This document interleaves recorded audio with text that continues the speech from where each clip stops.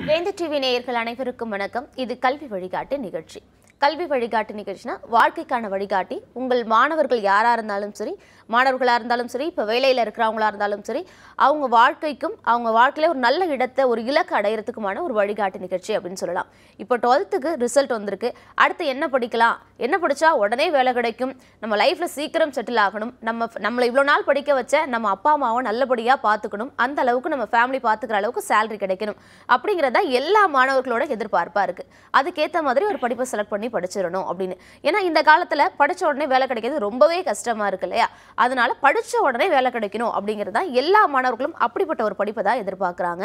படித்து முடித்த உடனே இல்லை படிக்கிறப்பயே வேலை கிடைக்கக்கூடிய படிப்பு இருக்குது படிக்க உடனே வேலை கிடைச்சிருமா? படிச்சுட்டு இருக்கிறப்பே வேலை கிடைக்குமா? சாத்தியமா இது அப்படின்னு கேட்டால் கண்டிப்பாக சாத்தியம். படிச்சுட்டு இருக்கும் போதே வேலை கிடைக்கும். ஓகே வேலை கிடைக்குது. அப்போ சம்பளம் எப்படி இருக்கும்? அதுக்கேற்ற மாதிரி தான் சம்பளம் இருக்குமா அப்படின்னா இல்லவே இல்லை. நீங்கள் எதிர்பார்க்க முடியாத அளவுக்கு கண்டிப்பாக சம்பளம் இருக்கும். வேலை அப்போனா ரொம்ப கஷ்டமாக இருக்குமோ? படிச்சுட்டு இருக்கப்பே வேலை கிடைக்குது. நிறைய சம்பளம் வேறு கொடுக்குறேன்னு சொல்கிறாங்க அப்போனா அதுக்கேற்ற மாதிரி ஒர்க் ப்ரெஷர் ஒர்க் ஸ்ட்ரெஸ்லாம் அவ்வளோ இருக்குமோ அப்படின்னா கண்டிப்பாக கிடையாது. எல்லாரையும் வேலை செய்ய வச்சு வேடிக்கை பார்க்குறது மட்டும்தான் உங்களுடைய வேலை. ஓ இப்படி ஒரு படிப்பு இருக்கா? அப்படின்னா கண்டிப்பாக இருக்கு. உள்நாட்டிலேருந்து வெளிநாடு வரைக்கும் எங்கே வேணாலும் வேலை பார்க்கலாம். சிலருக்கு வந்து உள்ளூரில் வீட்டுக்கூட குடும்பத்துக்கூடே குடும்பத்து கூடயே இருக்கணும் அப்படின்னு ஆசைப்படுவாங்க. சிலர் உலக நாடுகளையே சுற்றி வந்து பார்த்துடணும் அப்படின்னு ஆசைப்படுவாங்க. ஸோ உள்ளூரில் இருக்கிறவங்களுக்கா இருக்கட்டும் வெளிநாடுகளுக்கு போகணும்னு ஆசை இருக்கிறவங்களுக்கா இருக்கட்டும் எல்லா நாடுகளிலையுமே வேலை பார்க்கக்கூடிய ஒரு வேலை வாய்ப்பு படிக்கும் போதே வேலை கை நிறைய எதிர்பார்க்க முடியாத அளவுக்கு சம்பளம் உள்ளூரிலிருந்து வெளிநாடு வரைக்கும் வேலை எல்லாமே கிடைக்குது அப்படின்னா அது என்ன படிப்பு அப்படின்னா சேஃப்டி மேனேஜ்மெண்ட் அதை பற்றி தான் நம்ம தினம் தினம் பார்த்துட்டே இருக்கோம். நம்ம ஃபயர் அண்ட் சேஃப்டி மேனேஜ்மெண்ட் பற்றி நமக்கு தெரியாத பல அரிய தகவல்களையும் புதுசு புதுசான நிறைய சம்பவங்களையும் சொல்கிறாங்க இந்தியாவிலேயே முதல் முறையாக ஃபயர் அண்ட் சேஃப்டி மேனேஜ்மெண்ட்காக துவங்கப்பட்ட கல்லூரியான ஐஏபிஹெச்எஸ்ஸின் முன்னாள் இணை இயக்குனர் தமிழ்நாடு மாணவர் கல்வி வளர்ச்சி கூட்டமைப்பின் தலைவர் முருகானந்தம் சார் அவங்க. அவங்கள நம்ம நிகழ்ச்சிக்குள்ள வெல்கம் பண்ணிடலாம். வணக்கம் சார். வணக்கம் வணக்கம் மேடம். டுவெல்த் ரிசல்ட் வந்தாச்சு. எல்லாரும் அடுத்து என்ன படிக்கணும் அப்படின்னு ரொம்பவே. கன்ஃபியூஷனோடயும் இருக்காங்க இல்லையா? நம்ம தினம் தினம் ஃபயர் அண்ட் சேஃப்டி மேனேஜ் பற்றி பேசிட்டு இருக்கோம். இன்னைக்கு நம்ம நிகழ்ச்சியை புதுசா பார்ப்பாங்க. நிறைய பேர் பார்ப்பாங்க. இப்போ டுவெல்த் முடிச்சவங்களா இருக்கட்டும் அவங்களோட. பேரண்ட்ஸ்லாம் இப்போ ரொம்ப கன்ஃபியூஷன்ல இருப்பாங்க. ஸோ கண்டிப்பா பார்ப்பாங்க. அடுத்து என்ன படிக்க வைக்கலாம்? நம்ம பொண்ணுங்களையோ பசங்களையோ என்ன படிக்க வைக்கலாம் அப்படின்னு பார்க்குவாங்க. ஸோ அவங்களுக்காக ஃபயர் அண்ட் சேஃப்டி மேனேஜ்மெண்ட்னா என்ன அப்படின்னு நான். சொல்கிறத விட ஆரம்பத்தில் நீங்கள் வந்து நிகழ்ச்சியை பற்றி சொல்லும்போது என்னை விட தெளிவாக சொல்லிடுறாங்க.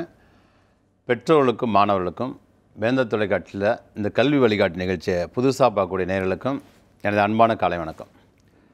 ஒம்பது மணி கல்வி வழிகாட்டு நிகழ்ச்சி இது வாழ்க்கைக்கான வழிகாட்டு நிகழ்ச்சி அல்ல. அப்படி இல்லையா? வாழ்க்கை காட்ட வழிகாட்டு நிகழ்ச்சியும் கூட. நீங்கள் நினச்சிட்டு இருக்கீங்க இது கல்வி வழிகாட்டு கல்வி வழிகாட்டு நிகழ்ச்சானே இது நம்ம வந்து நமக்கு எந்த அளவு வாழ்க்கைக்கு வழிகாட்டு அப்படின்னு? இது எல்லாத்துக்கான வழிகாட்டு அழகாக சொன்னாங்க. அதாவது உள்ளூரில் வேலை பார்க்குறாங்க வெளிநாட்டு வேலை பார்க்குறாங்க. எல்லாத்துக்கும் ஒரு தீர்வு அப்படின்னு. உலகத்தையே சுற்றி வரணும்னு ஆசைப்படுறாங்க அதை விட படித்து முடித்தோம் எதை படித்து முடித்தோம் பல பலவிதமான உயர்கல்வியை. இன்ஜினியரிங் நான் இன்ஜினியரிங் என்னென்னமோ படித்து முடித்தோம் பல வருஷமாக வேலை தேடியும் வேலை கிடைக்கல. இப்போ இல்லை. இப்போ கொரோனா பேண்டமிக் வந்துச்சு இப்போ விட்டு தருங்க இப்போ ரெண்டு வருஷமாக தான் இருக்குது இதுக்கு முன்னதாக கூட. பழைய சினிமாலாம் பார்த்துருப்பீங்க. வேலை இல்லை வேலை இல்லைன்னு வே படித்து நிறைய பேர் வேலை இல்லாமல் இருக்கிறத அதையும் தாண்டி சோசியல் மீடியாவில் நிறையா பார்த்துருப்பீங்க.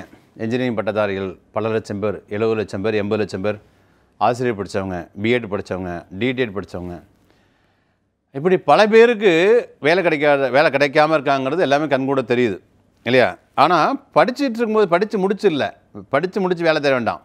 படிச்சுட்டு இருக்கும்போதே வேலை. அப்படின்னாக்க அதுவும் ஒரு துறையில் இல்லை. எல்லா துறையிலையும். தமிழ்நாட்டில் இல்லை இந்தியாவில் இல்லை. உலகம் முழுக்க எத்தனை துறைகள் இருக்கோ அத்தனை துறைகளும் வேலை கிடைக்கும். யார் சிபாரிசு இல்லாமல். வயசை மீறிய சம்பளம் படிப்பை மீறிய சம்பளம் அனுபவத்தை மீறிய சம்பளம். வாழ்க்கையில் இப்படி சம்பளத்தை நம்ம எனக்கு ராமகிருஷ்ணன் ஃப்ரம் அபுதாபிலேயும் சொன்னார் என்கிட்ட படித்தவர் முன்னாள் மாணவர்.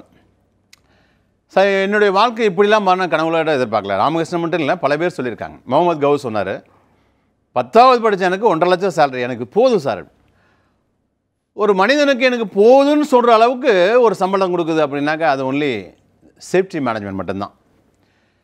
இந்த சேஃப்டி மேனேஜ்மெண்ட் கல்வி பற்றிய அறிவு ஐ மீன் விழிப்புணர்வு சாரி விழிப்புணர்வு நம்ம நாட்டு மக்கள்ல இன்னும் இல்லை. ஆனால் தமிழ்நாட்டை நான் பாராட்டணும். தமிழ்நாட்டு மாணவர்களத்தில் ஒரு காலகட்டத்தில் வந்து கன்னியாகுமரி மாணவர்கள் மட்டும் தான் படித்தாங்க ஐஐபிஹெச்எஸ் ஃபயர் அண்ட் சேஃப்டி காலேஜில் இந்தியாவில் முதல் முதலாக ஃபயர் அண்ட் சேஃப்டி மேனேஜ்மெண்ட் கல்விக்காக புதிதாக துவங்கப்பட்ட பிரத்யேகமாக துவங்கப்பட்ட இந்த கல்லூரியில் க கன்னியாகுமரி டிஸ்ட்ரிக்ட் படி மாணவர் மட்டும்தான் படித்தாங்க கன்னியாகுமரி கேரளா அப்புறம் தூத்துக்குடி திருநெல்வேலி இப்படி வந்தாங்க. ஆனால் இப்போ பார்த்தீங்க அப்படின்னா தமிழ்நாட்டில் இருக்கிற அனைத்து கிட்டத்தட்ட முப்பத்தெட்டு முப்பது முப்பத்தெட்டு மாவட்டங்கள் எல்லாம் ஈவன் சென்னை ஸ்டூடெண்ட்ஸ் உட்பட பெங்களூர் தமிழ்நாட்டில் இருக்க அனைத்து மாவட்ட மாணவர்கள் அதர் ஸ்டேட்ஸு இந்தியாவில் இருக்க அனைத்து ஸ்டேட்ஸு அக்கம்பக்கத்தில் உள்ள நாடுகள் பிற நாடுகள் வெளிநாடுகள் ஆல் கல்ஃப் கண்ட்ரிஸ்லேருந்து மாணவர்கள் படிக்கிறாங்க. இலங்கையிலேருந்து துபாய் குவைத்து கத்தார் ஓமன் ஏமன்லேருந்து மாணவர்கள் இங்கே படிச்சுட்டு திரும்பி அங்கே வேலைக்கு போகிறாங்க ஸோ இதுக்கெல்லாம் காரணம் என்ன அப்படின்னாக்க ஏன் சேஃப்டி படித்தவங்களுக்கு உடனே வேலை கிடைக்குது படிக்கும்போது வேலை கிடைக்குது உயர்வான சம்பளம் கிடைக்குது அப்படின்னா சேஃப்டி படித்தவங்க இதுதான் சொன்னோம் இல்லையா? விழிப்புணர்வு இல்லை. இந்த கல்வியை பற்றிய போதிய விழிப்புணர்வு மக்கள் மத்தியில் இல்லை அரசாங்கம் மத்தியில் இல்லை. ஓப்பனாக சொல்கிறேன் நான். வெளிநாடுகளில் இருக்குது வெளிநாடுகள்லேருந்து சேஃப்டிங்கிறது எஜுகேஷன் மட்டும் இல்லை அது ஒரு கல்ச்சர் ஆனால் இங்கே நான் என்ன சொல்கிறேன் சேஃப்டிங்கிறது அது ஒரு எஜுகேஷனில் அது ஒரு சென்ஸ் அது ஒரு உணர்வு. இந்த சேஃப்டி எஜுகேஷனை பற்றி இந்த கல்வி வழிகாட்டி நிகழ்ச்சி மூலமாக பல மாணவர்கள் பல பெற்றோர்கள் பல ஆசிரியர் பெருமக்கள் பல படித்தவங்க நேற்று கூட ஒரு மாணவன் பாலமுருகன் ஃப்ரம் கத்தார்லேருந்து. அந்த பையன் வந்து மெசேஜ் அனுப்பிச்சிருக்காரு. சார் நான் எங்கள் அப்பா சொன்னார் சார் அந்த வழியாக போகும்போது சேஃப்டி படிடா நீ ஃபாரின் போல பெரிய ஆளாயிரலாம் சொன்னார். நான் கேட்கல. அப்போ நான் கேட்கல. ஆனால் இன்றைக்கி அதோட கஷ்டத்தை நான் அதோட அருமையை நான் உணர்றேன். அப்படின்னு சொல்லிட்டு நான் கத்தாரில் இருக்கேன். நான் படிக்கலாமா? அப்படின்னு சொல்லி கேட்குறாரு. அது சரி படிக்கலான்னு சொல்லும்போது அவருக்கு அவ்வளோ சந்தோஷம். ஏன்னா எங்கள் அப்பா சொன்னார் நான் கேட்கல. அப்படின்னு சொன்னார் பார்த்தீங்களா அதுதான் அதுதான் இங்கே முக்கியமான விஷயம். அப்பா சொல்கிறத தந்தை சொல்மிக்க மந்திரம் இல்லைங்கன்னு யா எந்த குழந்தைகள்லாம் அப்பா சொல்கிறத கேட்குறாங்களோ அவங்க வாழ்க்கையில் தோத்தாலும் பரவாயில்ல. அப்பா பேச்சு கேட்டுட்டோம் அந்த வகையில் நம்ம ஜெயிச்சிட்டோம். அப் ஒரு அப்பா ஒரு வழியை சொல்லி அதில் நம்ம தோற்ற விட பரவாயில்ல. நிறைய இன்றைக்கி என்ன சொல்கிறீங்க அப்பா ஒரு வழியை சொல்லி தோத்துட்டோம்னா அப்பா உன்னால தான் வந்துச்சு. நான் ஒழுங்கா ஜெயிச்சிருப்பேன். நீ தான் தப்பான வழியை காமிச்ச. அப்பா அம்மா அவங்க. தாய் சிறந்த கோயிலும் இல்லை தந்தை சொல்மிக்க மந்திரங்களை மாதிரி அதாவது அது தெரியாமலே படிச்சுட்ருக்கான் தாய் சிறந்த கோயிலும் இல்லை அப்படின்னா சும்மா அது வார்த்தை பலருக்கு தந்தை சொல்மிக்க மந்திரம் இல்லை. இதுவும் ஒரு வார்த்தை பலருக்கு இருக்குது அப்படின்னு நினச்சிட்ருக்கோம் அந்த பையன் சொன்னல அதான். எங்கள் அப்பா சொன்னார்னு கேட்கல. இது மாதிரி நிறைய பெற்றோர்கள் அப்பா சொல்கிறத பிள்ளைகள் கேட்காம இருக்கீங்க. பசங்க நீங்கள் கேட்காம இருக்கீங்க. வாழ்க்கையில் தோத்தாலும் பரவாயில்ல எல்லாத்தையும் இழந்தாலும் பரவாயில்ல. அப்பா அம்மா சொல்கிறத கேளுங்க. ஈஸியாக ஜெயிச்சிடலாம். சார் சேஃப்டியை பற்றி பார்ப்போம். என்னடா சார் முருகானா சார் வந்தோடனே எப்போவுமே பேரண்ட்ஸ் மட்டும் பேசுவார். அப்பா அம்மா அப்பா அம்மா அதான் உண்மை அதான வாழ்க்கை. இல்லையா? முருகன் உலகத்தை சுற்றி வந்தார். விநாயகர் என்ன பண்ணார்? அவங்க அப்பா அம்மா சுற்றி அதான் உலகம் அப்படின்னு. அது நினச்சி போகிறேங்க இதெல்லாம் வந்து மாதா பிதா குரு தெய்வம் அப்படிங்கிறத வந்து வார்த்தையாக பார்க்காம எப்போ நீங்கள் வாழ்க்கையாக நினைக்கிறீங்களோ மாதா பிதா குரு அம்மா சொல் கேட்டு அப்பா சொல் கேட்டு ஆசிரியர் சொல் கேட்டு நடந்தீங்க அப்படின்னா இவங்கெல்லாம் அந்த மூணு பேர் தான் ஒரு மனிதனுக்கு தெய்வம். தெய்வம்னு எக்ஸ்ட்ரா கிடையாது. மாதா பிதா குரு தெய்வம் மொத்தம் நாலு பேர் சார் கிடையாது. இந்த மூணு பேர் தான் ஒவ்வொருவருக்கும் தெய்வம். அம்மா தெய்வம் அப்பா தெய்வம் சொல்லிக் கொடுக்குற ஆசிரியர் தெய்வம். இடதுகன் வலதுகன் நெற்றிக்கண். இடதுகன் தாய் இதே துடிப்பு வலதுகன் வலிமை தந்தை நெற்றிக்கண் அறிவு ஆசிரியர். எனவே கம் டு த பாயிண்ட் நம்ம விஷயத்துக்கு வருவோம். இன்றைக்கி புதுசாக பார்க்கக்கூடிய நேயர்களுக்கு ஏன்னா தினந்தோறும் பார்த்திங்கன்னா நேற்று பார்த்தவங்களே நிறைய பேர் பார்த்துட்டு இருக்காங்க. நேற்று பார்த்தவங்க என்ன பண்ணுறாங்கன்னா பெற்றோர்களும் மாணவர்கள் என்ன பண்ணுறாங்கனாக்கா இந்த நேயர்கள் என்ன பண்ணாங்கனாக்கா அவங்க உறவினர்கிட்ட எடுத்து சொல்லி காலைல ஒம்பது மணிக்கு இந்த நிகழ்ச்சியை பாரு அப்படின்னு சொல்லி சொல்கிறாங்க ஸோ அவங்களுக்காக ரெண்டு நிமிஷம் அந்த கோர்ஸை பற்றி நான் சொல்லிடுறேன். சேஃப்டி எஜுகேஷன் பற்றி சொல்லிடுறேன். அதாவது யார் சிபா படிச்சோன்னே வேலை வேணும். எல்லாருக்கும் சும்மா படிக்கிறாங்க. யார் யார்கிட்ட வசதி வாய்ப்பு ரொம்ப இருக்கோ அவங்க பெருமைக்கு படித்து வச்சுக்குவாங்க. இல்லைங்க அது பத்து பஸ் பத்து சதவீத மக்கள் தான் அப்படி இருக்காங்க. பாக்கி தொண்ணூறு சதவீதம் பேர் இன்றைக்கி பெரிய பெரிய VIP I means IAS IPS ஆஃபீஸர்லாம் from வில்லேஜ்லேருந்து வந்து படித்து பெரிய ஆளாக இருக்காங்க. இல்லைங்களா? நம்ம நம்ம சீஃப் செக்ரட்டரிலேருந்து யாரன்னா சொல்லுங்கள் நிறைய ஐஏஎஸ் ஆஃபீஸர்லாம் பார்த்தீங்கன்னா வில்லேஜ்லேருந்து படித்து பெரிய ஆளாக இருப்பாங்க. ஸோ கல்வி தான் அவங்களை மேலே கொண்டு வருது. கல்வியை மாதிரி ஒரு சிறந்த ஒரு அற்புதமான தாரகை மாத்திரம் இந்த உலகத்தை இல்லை. ஆனால் நம்மடானாக்கா அந்த சேஃப்டி தான் படித்து முன்னேறணும்னா சொல்ல வரல எதை படித்தாலும் அதை நேசித்து படிங்க. அதை விரும்பி படிங்க. படிக்கிறத சுமையாக நினைக்காதீங்க. ஐயோ படிக்க சொல்லிட்டாங்க ரெண்டு வருஷம் படிக்கணும்? அப்படி நினைக்கவே நினைக்காதீங்க. இந்த எக்ஸாம் ரிசல்ட் ரிசல்ட் வந்துச்சு ப்ளஸ் டூவில் இது எத்தனை பேர் எத்தனை மாணவர்கள் எத்தனை மாணவிகள் நினச்சிருப்பாங்க? என் பொண்ணெல்லாம் நினச்சி. நான் பேசாமல் எக்ஸாம் எழுதியிருப்பேன்ப்பா. நைன்ட்டி ஃபோர் பர்சன்டேஜ் வாங்கிட்டேன். என்னுடைய பொண்ணு வாங்கிடுச்சு. பட் இருந்தாலும் ஒரு நாள் சொல்லுவாங்க இல்லையா? ஊரான் பிள்ளை ஊட்டி வளர்த்தால் தன் பிள்ளை தானே வளருங்கிற மாதிரி என் பையனுக்கும் பொண்ணுக்கும் கிளாஸ் எடுக்க டைமே இல்லை. ஆனால் என்னுடைய மாணவ எனி டைம் மாணவர்கிட்ட தான் டைம் ஸ்பெண்ட் பண்ணேன் ஸ்பெண்ட் பண்ணேன். ஆனால் எனக்கு நைன்ட்டி ஃபைவ் பர்சன்டேஜ் எடுத்திருக்கு. எடுத்தால் கூட என்ன சொல்லுவேன் அப்பா எக்ஸாம் வச்சுருந்தா ஒரு நைன்டி எயிட் பர்சன்டேஜ் எடுத்திருப்பேன் அப்படின்னு. இது ஏன் சொல்கிறேன் அப்படின்னா விரும்பி படிக்கணும். எனி டைம் படிச்சு தீபாவளி பொங்கல் பார்க்க படிச்சுட்டே இருக்கும். அது மாதிரி நிறைய பிள்ளைகள் படிச்சுட்டு இருப்பாங்க. உண்மையிலேயே மிகப்பெரிய வரம். அப்பா அம்மா வந்து பிள்ளைகள்கிட்ட ஒன்றும் கேட்கல. நீங்கள் படித்து கண்ணு முன்னாடி வளர்ந்து பெரிய ஆளாக நிற்கணும் நாங்களே ஆச்சரியப்படுற அளவுக்கு. இதுதான் எங்களுடைய ஆசை. உங்களுடைய சாதனையும் பிள்ளைகளாகிய உங்களுடைய சாதனையும் இதுதான்.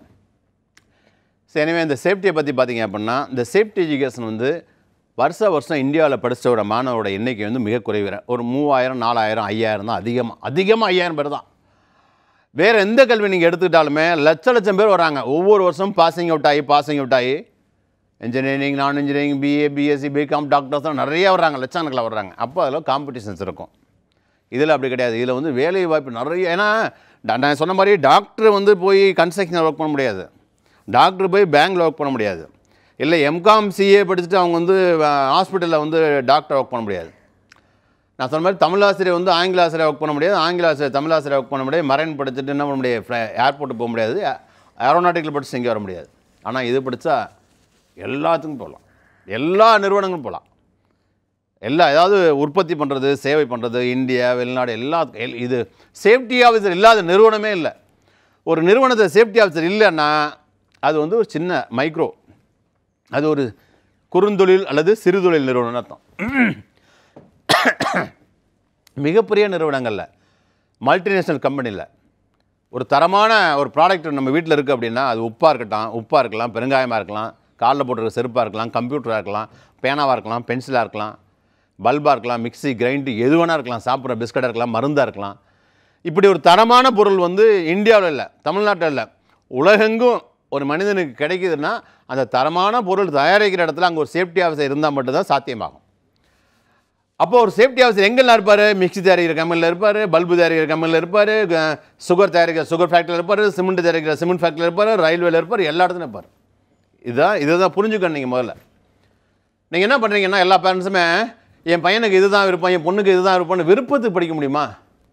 விருப்பத்துக்கு படித்த பிறகு அந்த பக்கம் என்ன பண்ணுறீங்க போய் பிஇ முடிச்சுட்டு பிடெக் முடிச்சு எம்இ முடிச்சு எம்டெக் முடிச்சு police constable great two police டிபார்ட்மெண்ட்லேயே கீழே கிரேட் டூ போலீஸ் அப்புறம் கிரேட் ஒன் போலீஸ் அப்புறம் ஹெட் கான்ஸ்டபிள் போலீஸ் வெறும் கான்ஸ்டபிள் கான்ஸ்டபிள் அதுக்கு போய் இன்னைக்கு எல்லாம் இன்ஜினியரிங் ஸ்டூடெண்ட்ஸ் சொல்கிறாங்க போட்டியில். அப்படியே நீங்கள் ஆமைக்கு போனால் ஆஃபீஸர் ஆகலாமே இப்போ என்ன காரணம்? நீங்கள் எல்லாம் you are having only the certificates மிகப்பெரிய அண்ணா யூனிவர்சிட்டி அங்கேருந்து வாங்கின certificates distinction college first university first rank holder அப்புறம் ஒரு போலீஸ் கான்ஸ்டபிள் போகிறீங்க நீங்கள் எஸ் ஒரு ஐ ஐபிஎஸ் படிக்கலாமே. அட்லீஸ்ட் ஒரு குரூப் ஒன்று எழுதி டிஎஸ்பி ஆகலாமே. காரணம்? காரணம் என்ன? உங்களுக்கே தெரியுது உங்கள்ட்ட சர்டிஃபிகேட் மட்டும் தான் இருக்குன்னு இதான் உண்மை. உண்மையை சொல்லும்போது சில பேர் சில சமயம் வந்து சொல்கிறவங்க மேலே கோவம் வரலாம். அது கேட்குறவங்க கூட கசக்கலாம். உண்மையை சொன்னால் ஒத்துக்கணும். அப்படிங்கிற மாதிரி அந்த தரம் இல்லை குவாலிட்டியில் இது யாருடைய தப்பு? தப்பு யாருடைய இருந்தாலும் அது ஆசிரியருடையதா இல்லை மாணவருடையதா அப்படின்னாலும் என் தப்பு யார் பக்கம் இருந்தாலும் சொல்லுவாங்க இல்லையா? முள்ளு மேலே சேலை போட்டாலும் சரி சேலை மேலே முள்ளை போட்டாலும் சரி. பாதிப்பு யாருக்கு? சேலைக்கு தான் அதுபோல் ஆசிரியர் பாடம் நடத்தலை இல்லை ஆசிரியர் ஒழுங்காக பாடம் நடத்தினாங்க பையன் ஒழுங்காக படிக்கலை இப்படி ரெண்டு பக்கம் தப்பு நடந்தால் கூட பாதிப்பு யாருக்கு? மாணவர்களுக்கு தான் அந்த மாணவர்களால் யாருக்கு பாதிப்பு? சொத்து பத்தான விற்க வச்சு படிக்க வச்சாங்களா? அந்த பெற்றோர்கள் தான் பாதிப்பு. பேரண்ட்ஸ் தான் பாதிப்பு. அவங்களோட ஆசை அப்படியே கனவாக போயிடும் அவங்க இந்த ஜென்மத்தில் என் பிள்ளைய படிக்க வச்சு பெரிய ஆளாகி பார்த்துட்டு இறக்கணும். இதுதான் இந்த வாழ்க்கையோட இந்த வாழ்கிற வாழ்க்கையோட அர்த்தம் அப்படின்னு ஒவ்வொரு பேரண்ட்ஸ் நினைக்கிறாங்க. என் பிள்ளை கல்வியை கொண்டு பெரிய ஆள் அந்த சமுதாயத்தில் வரணும். ஈன்ற பொழுதும் பெரியதுவக்கும் தன் மகனை ஒரு குரல் இருக்கல சான்றோர் என கேட்ட தாய். ஒரு குழந்தை பிறக்கும்போது கிடைக்கிற சந்தோஷத்தை விட அந்த பிறந்த குழந்தை படித்து பெரிய ஆளாகி படித்தவங்க மத்தியில் ஒரு பாராட்டுதல் பெறும்போது அந்த அம்மாவுக்கு எவ்வளோ சந்தோஷமாக இருக்குமா? பிறக்கும்போது கிடைச்ச சந்தோஷத்தோ இப்போ தாங்க சந்தோஷமாக இருக்கு அப்படிம்பாங்களாம். அந்த சந்தோஷத்தை உங்கள் பெற்று உங்கள் பெற்றோர் கொடுங்க. அந்த சந்தோஷத்தை கொடுக்கணும் அப்படின்னா எல்லா அப்பா அம்மா சொல்லக்கூடிய அப்பா அம்மா சொல்லக்கூடிய ஒரே தாரக மதன் என்ன தெரியுமா? எனக்கு ஒன்றும் வேணாங்க என் பிள்ளை நல்லா இருந்தால் சரி. என் பிள்ளை நல்லா இருந்தால் சரி. அதனால் சேஃப்டி எப்படிங்க எதையாவது படிச்சுவிட்டு படித்து வேலை படித்து வேலை கிடைக்கணும்னு சொல்லாமல் சேஃப்டி எஜுகேஷனை படிங்க. படிக்கிறது ரொம்ப ஈஸி இந்தியாவில் கவர்மெண்ட் இன்ஸ்டியூஷன் நிறையா இருக்குது மும்பையில் இருக்குது கான்பூரில் இருக்குது கல்கத்தாவில் இருக்குது தென் சென்னை அடையாரில் இருக்குது இதெல்லாம் கவர்மெண்ட் சென்ட்ரல் கவர்மெண்ட் இது. அண்ட் தமிழ்நாட்டில் IIPHS college of safety management Virugambakkam Arumbakkam புதுக்கோட்டையில் இருக்குது அப்புறம் நிறைய இன்ஜினியரிங் காலேஜ் இன்ஜினியரிங் காலேஜில் திருச்சி துவாக்குடியில் இருக்குது ப்ரைவேட் இன்ஜினியரிங் காலேஜில் எம்இ எம்டெக் இருக்குது கொச்சின் யூனிவர்சிட்டியில் இருக்குது இதெல்லாம் நீங்கள் படித்து நான் பர்டிகுலராக ஐஏபிஎஸ் மட்டும் படிக்க சொல்ல பர்டிகுலராக சேஃப்டி படிக்க படிக்க சொல்ல எதனா படித்தா வேலை கிடைக்கும். ஆனால் எல்லா துறையிலும் வேலை கிடைக்கும் சேஃப்டி தான் படித்தா ஈஸியாக இருக்கும். இந்த நிகழ்ச்சியை தொடர்ந்து பார்த்துட்டே இருங்க. இன்னும் நிறைய சந்தேகங்கள்லாம் பதில் தர நான் காத்திருக்கேன். எப்பவுமே இன்ஜினியரிங் படிச்சவங்களுக்கு வேலை கிடைக்கிறது இல்ல அப்படின்னு ஜென்ரலான ஒரு தாட் இருக்கு. உண்மையும் கூடன்னு சொல்லலாம். இன்ஜினியரிங் படிச்ச நிறைய பேர் இன்னைக்கு வேலை இல்லாம இருக்காங்க. அப்படியே வேலை கிடைச்சாலுமே அவங்களுக்கு அவங்கள பாத்துக்கிற அளவுக்கான சம்பளம் அந்த சம்பளம் கிடைக்கிறது இல்ல. அப்படி இன்ஜினியரிங் படிச்சுட்டு இருக்கவங்களோ படிச்சு முடிச்சுட்டு வேலை இல்லாம இருக்கவங்க இல்ல படிச்சு முடிச்சு வேலை கிடைச்சவங்க கூட இப்போ சேஃப்டி படிக்கணும் நிறைய சம்பளம் வாங்கணும் அப்படின்னு ஆசைப்பட்டாங்கன்னா படிக்கலாமா? அவங்க தான் படிக்கணும். ரொம்ப ஒரு சிறப்பான கேள்வி தேவையுள்ள அர்த்தமான கேள்வி.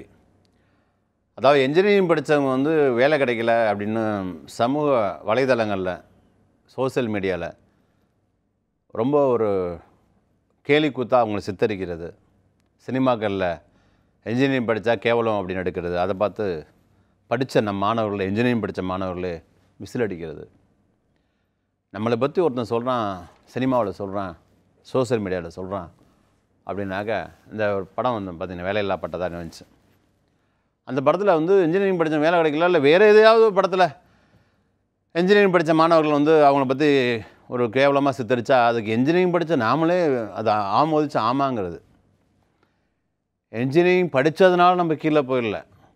நம்ம படித்த படிப்பு அப்படி இருக்குது எதை படித்தாலும் அப்படி தான் போயிருப்போம். அதான் உண்மை. படிப்பு கல்வி என்றைக்குமே கேடில் விழிச்செல்வம் கல்வி ஒருவருக்கு மாடலமற்றவை அவன் மாதிரி. கேடில் விழிச்செல்வம் கல்விக்கு எந்த கேடுமே வராது. எல்லாம் மாறுங்க டாக்டர் அப்துல் கலாம் படித்தாங்க அப்போது பேராசிரியர் இருந்தாங்க அவங்களுக்கு சொல்லிக் கொடுத்த ஆசிரியர் இறந்து போயிட்டாங்க. டாக்டர் அப்துல் கலாம் ஐயா இறந்து போயிட்டார். அதனால் அந்த கல்வி நிலையம் சென்ட் ஜோசப் காலேஜுங்கிறது அப்படியே இருக்குது டாக்டர் அப்துல் கலாம் அவங்க படித்த கல்வியும் அந்த எஜுகேஷன் அப்படியே இருக்குது ஆனால் படித்த அவங்க தான் எல்லாம் போயிட்டாங்க. அது மாதிரி கல்வி எப்படி நிரந்தரமானது. என்ஜினியரிங் படித்த மாணவர்கள் இன்றைக்கி வேலை கிடைக்கல வேலை கிடைக்கணும் சோஷியல் மீடியாவில் பார்த்து வந்து மற்றவங்க இது பண்ணும்போது நமக்கு ஒரு உத்வேகம் வரணும். நமக்கு ஒரு கோபம் வரணும். நான் பொதுவாகவே சொல்லுவேன் ஆகஸ்ட்டு பதினஞ்சு அல்லது ஜனவரி இருபத்தாறு இந்த சுதந்திர தினத்தையும் குடியரசு தினத்தையும் கொண்டாடும் போது எல்லா நாடுகளுமே அதாவது independ day independence day independence day republic day அப்படி கொண்டாடுறாங்க. அதுக்கு மிட்டாயெல்லாம் கொடுத்து கொண்டாடுறாங்க. எனக்கு சின்ன வயசுலேருந்து ஒரு ஆதங்கம் என்ன அப்படின்னாக்க நம்ம போய் அவன் நாட்டில் குடியிருந்து அவங்க நமக்கு சுதந்திரம் கொடுக்கல. அவன் இங்கே வந்தான் வியாபாரம் பண்ணவன் தான். நம்மளை அடிமைப்படுத்தினான். நம்மளுடைய வளங்களை கொள்ளையடிச்சிட்டு போனான். திருடன். திருடிட்டு போனான். திருடன் நம்ம வீட்டில் வந்து தங்கி இருந்தோம்லாம் கட்டி போட்டு நம்ம வீட்டுக்குள்ளே வந்து கட்டி போட்டு அந்த அது தீரன் அதிகாரம் ஒன்று படம்லாம் அந்த மாதிரி கட்டி போட்டு எல்லாத்தையும் கொள்ளையடிச்சிட்டு சரி போ. இதோட பொழைச்சி போகணும்னு சொல்லிட்டு பொருளாக அள்ளிட்டு போயிட்டான். நம்ம அவனை- அவனை பார்த்து சந்தோஷப்படுமா? நல்ல வேலை. போன வருஷம் இந்த இந்த நாளில் தான் திருடன் வந்து நம்ம விட்டுட்டு போனான். அன்றைக்கு நம்ம வந்து மிட்டாயை கொடுத்து கொண்டாடுவோமா? கோவம் தான் வரும். அதே திருடன் நம்ம தெருவழியாக தான் இருக்கோம். ஏய் அவனை பார்த்தோம்னா திரும்ப அடிக்க போவோம். நீ என்னடா போன வருஷம் எங்கள் வீட்டில் திருடினேன் திரும்பி இந்த வீட்டு இந்த தெருவழியாக வர? இன்னைக்கு யார் வீட்டில் திருட வந்த? அடித்து விரட்டுவோம். அது இங்கே இல்லை. எல்லா நாடுகளும் அப்படினா சுதந்திர தினம் சுதந்திர தினம் கொண்டாடுறாங்க. அது ஏன்னு தெரியல எனக்கு. கோவம் வர வேண்டிய நாள். என் நாட்டுக்கு பிழைக்க வந்த நாயினி நீ எப்படா வந்து எனக்கு சுதந்திரம் கொடுத்தன்னு? சுதந்திரம் கொடுக்கப்படவில்லை. ஆல்ரெடி நம்ம சுதந்திரமாக இருந்தோம். நம்ம நாடு அது. இயந்திரங்களை துப்பாக்கி முறையில் நம்ம எல்லாம் நம்ம மிரட்டப்பட்டோம் அவ்வளோதான் எனவே பா நான் பாயிண்ட் வர்றேன். இன்ஜினியரிங் படித்த மாணவர்கள் உங்கள் கல்வி எப்பவுமே உயர்வான கல்வி தான் நீங்கள் படித்தது குறையே கிடையாது. நீங்கள் அதை ஃபீல் பண்ணணும். நம்ம படிச்சிருக்கோம். நம்ம நம்ம ஒரு இன்ஜினியர் படித்து நீங்கள் வேலை கிடைச்சாலும் வேலை கிடைக்காலும் யுவர் இன்ஜினியரிங் கிராஜுவேட் அது மட்டும் மனசில் வச்சுக்கணும். அதுக்கு தகுந்த மாதிரி சொல்லுவாங்க இல்லையா? நிற்க அதற்கு தக. கற்க கசடர கற்பவை கற்றப்பன் நிற்க அதற்கு தக. படி படிக்க வேண்டியது படி. படிக்க வேண்டியது படித்தாச்சு பிள்ளை இல்லாமல் படித்தாச்சு டிஸ்டிங்ஸ்லாம் பா பாஸ் ஆச்சு அரியர் இல்லாமல் பாஸ் ஆச்சு பிள்ளை இல்லாமல் படித்து பாஸ் ஆகிட்டீங்க ஆனால் அந்த நான் வேலை கிடைச்சா தான் இன்ஜினியராக இருப்பேன். வேலை கிடைக்கலாம் சும்மா இருப்பேன். படிக்காத மாதிரி இருப்பேன். அப்படி இருக்கக்கூடாது. நீங்கள் வேலையை கிடைக்காதுன்னு சும்மா போனால் கூட அப்படி பார்த்தோன்னே அவனை பார்த்து நீங்கள் இந்த ஊரில் உள்ள மற்ற இளைஞருக்கு இப்போது படிக்கக்கூடிய மாணவருக்கு நீங்கள் ஒரு ரோல் மாடலாக இருக்கணும். எனக்கு அது மாதிரி நிறைய இப்போ பிடிஓ வந்து ரிட்டையர் ஆகிட்டார் அவங்களாம் பார்த்து பார்த்தீங்கன்னா அவர் பார்க்கும்போது வேலையே இல்லாமல் இருக்கும்போது பார்த்து ரொம்ப நீட்டாக ட்ரெஸ் பண்ணுவார். நிறையா மாதிரி நான் பார்த்துருக்காங்கல்ல ஸோ இது மாதிரி நிறைய ஆசிரியர்களை பார்க்கும்போது இப்படி தான் இருக்கும் ட்ரெஸ் பண்ண தோணும். அதனால் இன்ஜினியரிங் படித்த மாணவர்கள் பார்த்தீங்கன்னா உங்களுக்கு நீங்கள் இந்த சேஃப்டியை படிச்சீங்கன்னா அவ்வளோ வாய்ப்புகள் இருக்குது இன்ஜினியரிங் பேக்ரவுண்டில் உள்ளவங்க இன்ஜினியரிங் பேக்ரவுண்டில் உள்ளவங்களுக்கு இந்த ஒரு வருஷம் சேஃப்டியை படிச்சீங்கன்னா இந்த நீங்கள் இன்ஜினியரிங் படித்து நாலு வருஷம் வேலை கிடைக்கல அஞ்சு வருஷம் வேலை கிடைக்கல வச்சுங்க சப்போஸ் ஆனால் அதன் பிறகு இந்த சேஃப்டியை ஒரு வருஷம் PG diploma post graduate diploma in environment health safety management அப்படிங்கிற ஒரு கோர்ஸ் படிச்சிங்க. ஒரே வருஷம் படிச்சீங்கன்னா படிச்சுட்டு நீங்கள் ஜாப்பு போயிட்டீங்கன்னா இந்த அஞ்சு வருஷம் வேலை இல்லாமல் இருந்தீங்கல்ல அந்த அஞ்சு வருஷத்தை என்ன சம்பாதிப்பீங்களோ என்ன நீங்கள் சம்பாதிச்சிருப்பீங்களோ என்ன நீங்கள் ஏர்ன் பண்ணியிருப்பீங்களோ அந்த ரெவென்யூ அந்த மணி அந்த பணம் உங்களுக்கு இந்த ஒரு வருஷத்தில் படித்து முடித்த பிறகு இந்த சேஃப்டி மேனேஜ்மெண்ட் கொடுத்துரும். நல்ல கேள்வி. இன்ஜினியரிங் படிச்சுட்டு வேலை இல்லாமல் இருக்காங்களா சார் அவங்களாம் படிக்கலாமா? தாராளமாக நீங்கள் தான் படிக்கணும். நீங்கள் தான் படிக்கணும். ஆனால் டென்த்து படித்த மாணவர்கள் ப்ளஸ் டூ படித்த மாணவர்கள் அவங்கள்ட்ட இருக்க விழி அவங்கக்கிட்ட இருக்கக்கூடிய விழிப்புணர்வு இந்த இன்ஜினியரிங் படித்த மாணவர்கிட்ட இருக்க மாட்டேங்குது ஒரு வேலை நம்ம ஏற்கனவே படிச்சுட்டோம் அதுக்கே வேலை இல்லை. உங்களையும் சொல்லி தப்பு இல்லை. அதுக்கே வேலை இல்லை. வேலை இருக்குது வேலைக்கான தகுதிகள் நம்மகிட்ட இருக்கணும் பார்க்கணும் அவ்வளோதான் வேலை எப்பவுமே இருக்குது இந்த உலகம் இருக்க வரைக்கும் வேலை இருக்கும். பசி இருக்க வரைக்கும் இன்னும் எல்லா இதுலேயும் வேலை இருக்கும். அதனால் இன்ஜினியரிங் படித்த மாணவர்கள் இந்த கல்வி விளையாட்டு நிகழ்ச்சி மூலமாக நீங்கள் தான் இந்த படிக்கணும் especially civil mechanical electrical chemical இது படித்தவங்க அதில் நீ டிப்ளமா இருக்கலாம் இல்லை பிஇஆ இருக்கலாம் பிடெக் இருக்கலாம். இல்லை நீங்கள் எல்லாமே இன்ஜினியரிங் கிராஜுவேட்ஸ் தான். எஸ் இதில் நீங்கள் வந்து ஈவன் அரியர்ஸ் வச்சுருந்தா கூட அரியர்ஸ் வச்சுருந்தா கூட இன்ஜினியரிங் பேக்ரவுண்டில் உள்ளவங்களுக்கு சேஃப்டிக்கு அற்புதமான solution for your easy employment and unexpected salary ஓகேங்களா த- கண்டிப்பா சார் நீங்க ஐஏஎஸ் ஐபிஎஸ் விட அதிகமா. சம்பளம் வாங்கலாம் அப்படின்னு கண் எப்பவுமே சொல்லுவீங்க. உண்மை. சேஃப்டி படிச்சா ஐஏஎஸ் ஐபிஎஸ் ஆஃபீஸரை விட அதிகமா சம்பளம் வாங்கலாம் அப்படின்னு. அப்பனா அவங்கள விட அதிகமா சம்பளம் வாங்குறாங்கன்னா அவங்களுக்கு ஏத்த திறமை அவங்கள விட அதிகமான திறமை உங்களுக்கு இருக்கணும் இல்லையா? அப்போ சேஃப்டி படிக்கிறவங்களுக்கு ஐஏஎஸ் ஐபிஎஸ் விட அதிகமா திறமை இருக்கணும். அவங்களுக்கான ஸ்கில்ஸையும் அந்த எபிலிட்டிஸையும் ஐஏபிஹெச்எஸ் வந்து எப்படி கத்துக் கொடுக்குறீங்க? அதுக்கான அதை ஏத்துக்கிறதுக்கான திறமை மாணவர்கள்ட்ட எப்படி மாணவர்கிட்ட இருக்கா. தினந்தோறும் நான் சொல்லுவேன் safety education is more than engineering more than doctor அப்புறம் more than IAS more than IPS IAS ஐபிஎஸ்ங்கிறது ஒரு எக்ஸாம் தானே. ஒரு சிவில் எக்ஸாம் தானே. கேள்வி கேட்டிங்களா? பார்த்தீங்களா ஒரு ஐஏஎஸை விட ஐபிஎஸ்ஸை விட உயர்ந்தவன்னு சொல்கிறீங்களே அப்போ அதுக்கேற்ற திறமை வந்து சேஃப்டி படிக்கிற மாணவர்கிட்ட இருக்கணுமா? இல்லை அந்த மாதிரி ம- திறமையை நீங்கள் மாணவர்கிட்ட கொடுக்கும்போது அது மாணவர்கள் ஏற்றுக்கக்கூடிய திறன் அவங்கள்ட்ட என்ன சொல்லலாம் கிராஸ்பிங் பவர் ஏற்றுக்கூடிய கெப்பாசிட்டி எப்படி இருக்குது எபிலிட்டி எப்படி இருக்குது அவங்களோட ஸ்கில் எப்படி இருக்குது அப்படின்னு கேட்குறாங்க நானும் சொல்லுவேன் எங்கள் சேஃப்டி ஐஏபிஜெட் காலேஜில் படித்த மாணவர்கள் வந்து ஒரு பையன் ஒரு லட்சம் வாங்குறான் ஒரு பையன் வந்து நான் ஐம்பதாயிரம் வராங்க ஒரு பையன் முப்பது டெய்லி ஒரு லட்சம் வாங்குறான். ஒருத்தன் மாதம் ஒரு லட்சம் வாங்குறான் ஒரு பையன் தினந்தோறும் ஒரு லட்சம் வாங்குறான் அப்படின்னு சொல்லி சொல்லுவேன். இது யார் தினந்தோறும் ஒரு லட்சம் வாங்குவா அப்படின்னா அதையே நேசித்து ஃபர்தராக படிச்சுட்டு போகிறவங்க அதே என்ன அதில் என்ன விதமான அட்வான்ஸ் கோர்ஸ்லாம் இருக்கோ அதெல்லாம் படிச்சுட்டே போகிறவங்க சில பேர் என்ன பண்ணுறாங்கன்னா ஒரு லட்சம் சம்பளம் கிடைக்குதா? போதும் இந்த ஒரு லட்சம் சம்பளம் போதும் அப்படின்னா அப்படியே இருந்துடுறாங்க. அதை அப்படியே அதுவே இருந்துடுறாங்க. ஆனால் இவ்வளோ வேரியேஷன் ஏன் இருக்குது அப்படின்னாக்க என்னதான் வெளியில் போய் சேர்ந்தால் கூட செய்யும் தொழிலே தெய்வங்கிற மாதிரி தெய்வத்துக்கு வந்து ஒரு தடவை பூஜை பண்ணால் போதுமா? தீபாவளிக்கோ இல்லை பொங்கலுக்கோ ரம்ஜானுக்கோ கிறிஸ்மஸுக்கோ மட்டும் சர்ச்சு போனால் போதுமா? இல்லை பள்ளிவாசல் போனால் போதுமா? இல்லை கோயிலுக்கு போய் சாமி கும்பிட்டு போதுமா? சும்மாவாவது எங்கேயாச்சும் எங்கேயாவது போகிறோம் ஏதாவது கடவுள் ஒன்றே குணம் தானே ஒரு இந்து போயிட்டு இருக்கான் பள்ளிவாசல் இருக்கும்போது அவன் அவனை அறியாமலே என்ன வரும்னா ஓ பல் பக்கத்தில் பள்ளிவாசல் இருக்குது அங்கே இறைவன் இருக்கார் தோணுது. பக்கத்தில் சர்ச் இருக்குது அங்கே இறைவன் இருக்கான்னு தோணுது.